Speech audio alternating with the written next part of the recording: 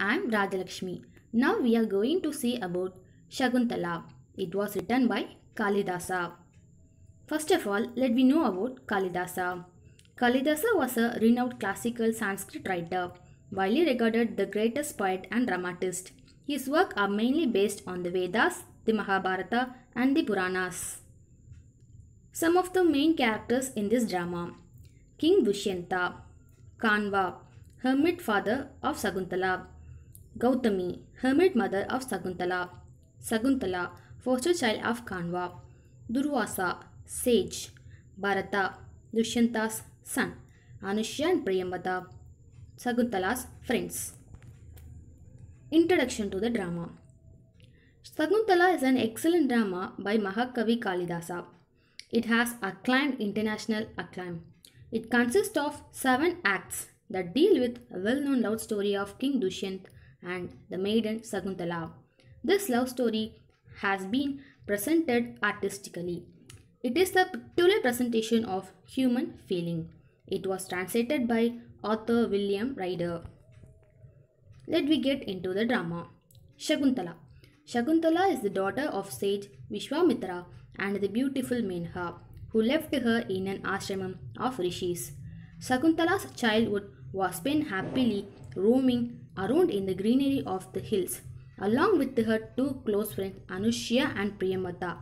So gentle and self-spoken she was, that even the birds and animals residing in the forest were drawn to her. She grew up to be a strictly beautiful young woman who radiate youth and elegance through simply clad in a cotton garment and flowers for ornaments. Shakuntala falls in love. While on hunt in forest, King Dushyant and the most powerful king of his time meet Shakuntala and instantly fell in love with her. When he expressed his love for her, he realized that Shakuntala too reciprocate his feeling. After that, they both get married. Cursed by Rishi. Dushyanta's departure from the ashram, Shakuntala spent much time dreaming about him and was often in her own dream world, neither eating nor sleeping properly. One day, Rishi Durvasa, who was infamous for his nasty temper, came to the ashram. Lost in her thoughts, Shakuntala failed to notice the sage and did not greet him properly. Enraged by this result, Durvasa cursed Shakuntala, saying that the person of her dream would forget about her altogether.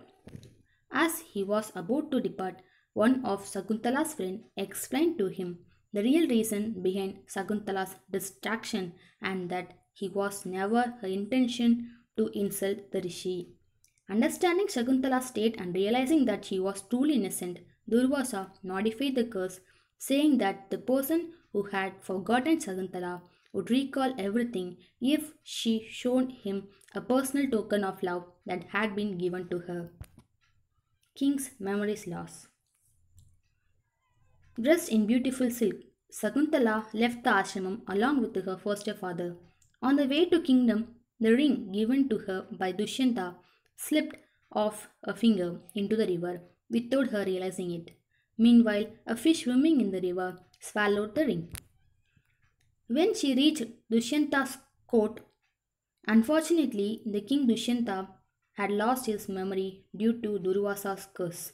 He did not recall anything at all about Shakuntala and their wedding. Hence, he refused to accept Shakuntala as his wife. In final, Shakuntala told him about the ring he had given her and raised her hand to show it to him. Only then did she realize that it had fallen off somewhere and she had lost it forever. King recalls his past. In the meantime, a fisherman was utterly surprised to find a royal ring inside the belly of the fish he had caught. Recognizing the royal seal, he took the ring to Dushyanta. As he held the ring, Dushyanta immediately recalled his past, his love of Sakuntala, the wonderful time spent with her, and the memories of his lovely bride. King meet his son.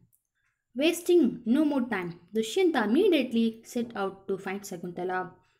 As he had not found her at her father's ashram, he moved deeper into the forest to find her. In the forest, he saw a young lad playing with lion cubs. Utterly amazed, Dushyanta asked the boy his name. The boy said that he was Bharata, the son of King Dushyanta. The king get a pleasant surprise. The boy took him to Shakuntala and thus the family was reunited. Happy ending. Thank you, friends.